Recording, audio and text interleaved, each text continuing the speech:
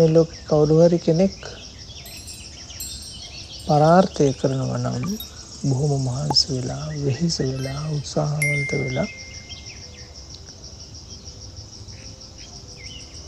ඒකේ තේරුම එයාලා ආත්මාර්ථය ජයගන්නේ නැහැ කියන එක නෙවෙයි. ඒකේ තේරුම එයාලා ආත්මාර්ථය මනාකොට ජයගන්නේ පරාර්ථය සිදු කරන හින්දා කියන එකයි.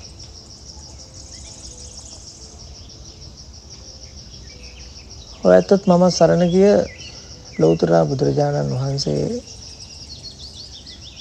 ගැන අප හිතන්ට පටන් ගත්තොත්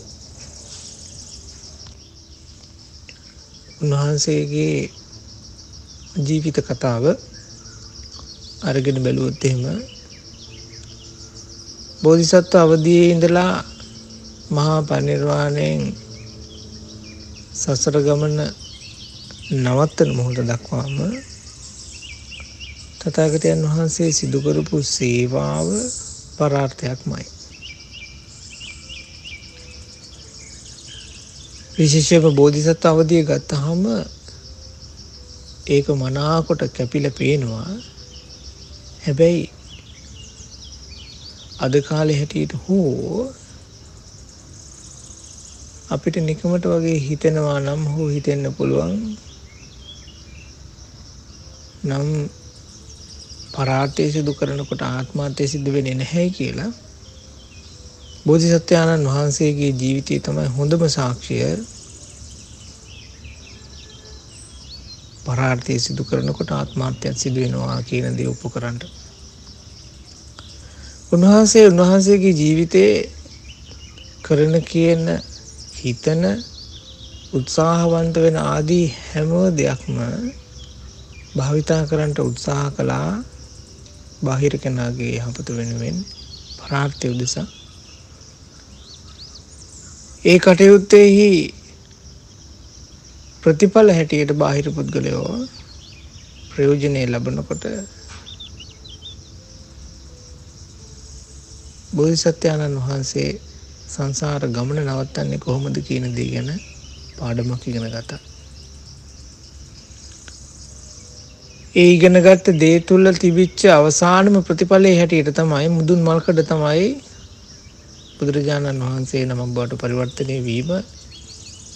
එහෙම පරිවර්තනය වෙලා සංසාරයක් තිස්සේ ඉගෙනගත්ත හැම දෙයක්ම අපිට කියනවා දේශනා දහට දහක් අසේ සමහර විට එක ගාථාවක් අස්සේ. මේකයි තියෙන දක්ෂතාවය. මේකයි තියෙන මහ පුදුමාකාර ආශ්චර්ය සහ උන්වහන්සේගේ තියෙන පරිණත බව. එතකොට පිනතුනේ අපේ අපේ ජීවිතයටත්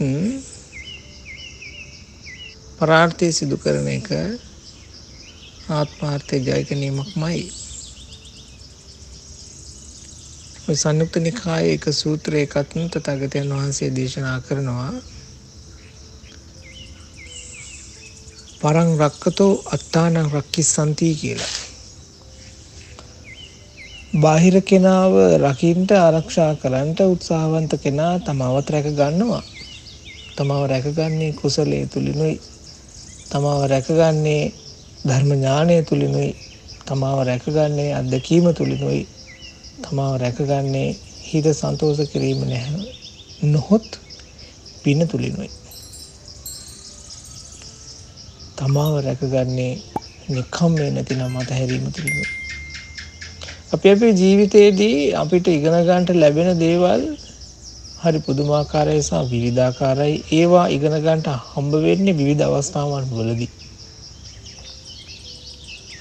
හැබැයි හැම අවස්ථාවක්ම පරාර්ථය ඉස්මතු කරන්නට උත්සාහ කරන එක බාහිර කෙනාගේ යහපත කල්පනා කරන්නට බලාපොරොත්තු වෙන උත්සාහවන්ත වෙන එක අතිමහත් දෙයක්. ඒක සුවිශේෂයි කියලා මම සඳහන් කරන්නට කැමතියි.